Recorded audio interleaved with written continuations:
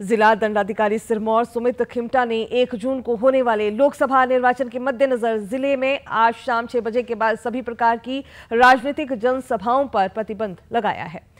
आदेशों में कहा गया है कि एक जून को शिमला संसदीय क्षेत्र के तहत मतदान होना है और इसी उद्देश्य से आज शाम छह बजे के बाद सभी प्रकार की जनसभाएँ और लाउडस्पीकर के इस्तेमाल पर प्रतिबंध रहेगा। इस अवधि के दौरान एक स्थल पर पाँच व्यक्तियों से ज़्यादा एकत्रित होने पर भी प्रतिबंध रहेगा, जबकि प्रत्याशियों को डोर टू डोर प्रचार की अनुमति रहेगी। आज से मतदान प्रक्रिया संपन्न होने और 4 जून को मतदान नतीजों के दिन भी ड्राई डे लागू रहेगा। इस अवधि के दौरान सभी किस्म के मादक पदार्थों के विक्रय पर पूर्णतः प्रतिबंध रहेगा।